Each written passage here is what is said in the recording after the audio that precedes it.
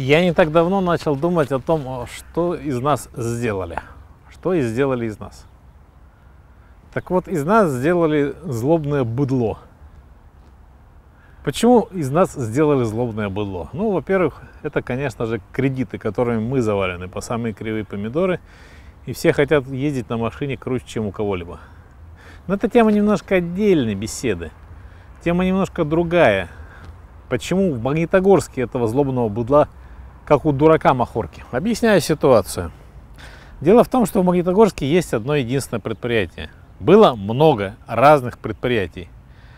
Но вот те злобно-быдлячие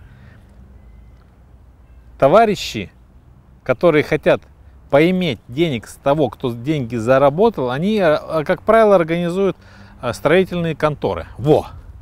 Потому что рано или поздно работник комбината имеет себе возможность купить дом, естественно. Но работник комбината, он работает на комбинате с 6 часов утра и до 8 часов вечера. Или до 9 часов вечера. Больше он не в состоянии ничего делать. И вот тут он впирается на тех, кто занимается ремонтом. Да, я вам как специалист немножко объясню, что вот э, из разряда тех, кто вас реально швыряет, реально швыряет, это первоначально, это, конечно, сторожа, они вообще ни за что не отвечают, это отдельная тема. Второй вопрос, это те, кто делает ремонты. Они также вас швыряют, они вам что-то сделали, вам типа понравилось, ну, давайте определимся, почему идет швырево для вас. Потому что самый простой и самый грамотный вариант это все делать своими руками. Ну, то есть вы захотели сделать свой качественный дом, посмотрели, обсчитали, сделали, купили, но возникает вопрос, у вас нет времени, потому что вы работник металлургического комбината. Работники металлургического комбината работают, они зарабатывают деньги, да, но не у всех есть свободное время, естественно. По большей части его и не существует, по большей части они уже готовы проплатить, и чтобы человек им сделал. И самая забавная ситуация, что, допустим, я вот ремонтирую свою трехкомнатную квартиру, положу, по, понял и сделал следующее. То есть э, ремонт любой квартиры, а э, конкретная сумма цифр, которые будут у вас отрабатывать, это примерно половина стоимости самой квартиры. То есть понимаете, да? Естественно, я, когда ремонтировали мою квартиру, оставался здесь и сказал, что вы меня не сможете обворовать по тамошним вашим принципам. Как правило, примерно они воруют 50% стоимости. Вы этого не увидите, они это сделают. Вам будет много э, дополнительных м, принадлежностей, как то смеси, как то все это дело. Они, естественно, все это дело себе захоботят, поверьте мне, это стопроцентный вариант, железобетонная практика. Поэтому у меня один есть товарищ, который все делал сам своими силами. Это хорошая тема, естественно. А вот. Что касаемо других вещей, как я сейчас объяснил, то бишь, давайте все-таки обратимся к э, сути событий. Все говорят, будет э, качество, но какое качество, если завтра вы этого человека найти не можете?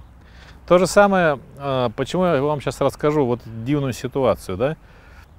Как бы вам сказать, то ладно, я хоть это дело в эфире не показал, то очень-очень даже хорошо и красиво. То бишь, э, существуют же не только ремонты квартир, существуют ремонты кровельных материалов, да? Ремонта кровельных материалов, где вы их реально много можете увидеть. А вы в любой гараж зайдите, и все вам скажут, да, мы сейчас будем крыть, да, все будет красиво. Мой один товарищ покрыл. Через год протекло по самой кры помидор. Я обратился к другим товарищам, которые мне сказали, что все красиво, ремонт будет на 10-15 лет. Через год они уже испарились. Я их нашел, говорю, давайте поработаем. Они говорят, а мы уже этим делом не занимаетесь. Понимаете, какая дивная ситуация, да?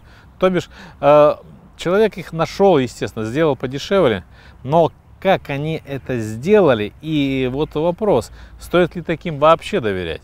Конечно, я кое-что научился, потому что маленький вариант немножко других событий возникает у меня в природе своей.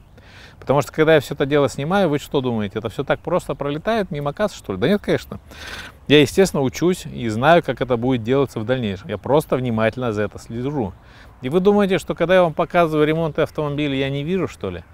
Те же самые ремонты автомобилей из той же самой оперы. Количество крутых специалистов раз, два и обчелся. Это везде. Количество специалистов, кто вам ремонтирует автомат коробки, такое же, не более того, как. Понимаете, о чем я объясняю? Ну, вот такая ситуация возникает у нас. И слава тебе, Господи, что я притормозил все это дело занятия. Потому что я вам сейчас покажу того человека, которому вам никогда не стоит обращаться в природе своей. Конечно, все там было достаточно прикольно. То бишь человек залез на высоту, грубо говоря, третьего этажа без страховки, это о чем говорит? То есть вы должны понимать, с третьего этажа, я упал с двух метров на бетон, у меня нога сломалась. Представляете, с третьего этажа, это все, приехали. То есть вот такие люди живут и такие люди работают. Никогда им не доверяйте. По сути событий. Установка отлива и два бикроста. Первый с двумя слоями нагреваемой лепизны, второй верхний с одним. Ну и разогрев. Вот и все. То есть работы в принципе, а это баллон с горелкой и больше ничего не нужно. Что нужно-то по-другому? Дело в том, что раньше таких вещей не существовало в природе. Гудрон поднимали на крышу, растапливали и он лился. Я лично этим и занимался на крыше своего гаража. Ну вот, собственно, как-то так крыша выглядит. М да, сложновато. Говорить о полной гидроизоляции не приходится. Так, знаете ли, пусть льется, куда зальет. идеальная гидроизоляция присутствует, только все сначала убирается полностью, а потом заливается с полным уничтожением мусора. То есть свинство будет еще то. Но можете ли вы ставить крыши просто из э, металла?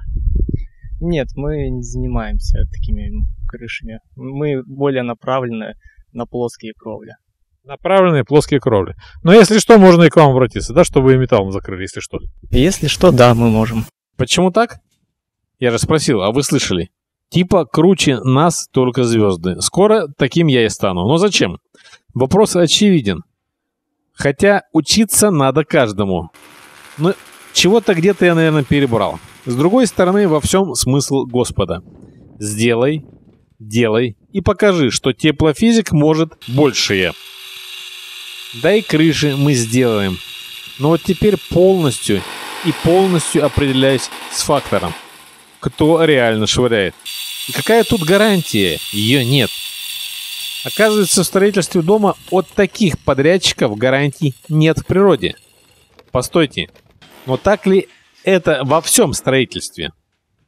В строительстве домов ее подчас нет. Построили, бабки отмыли и в отвал. Круто. Да безумно. Теперь вопрос. Э, каким образом и э, как бы с вами связаться? Ну, лично мой контактный номер это 922 756 45 23. То есть, позвонив вам, мы просто делаем идеальный вариант для своей крыши. Да, конечно. Мы приедем, э, сделаем замер, обсудим, какую технологию можно применить, ну и обсудим все нюансы дальнейшей работы.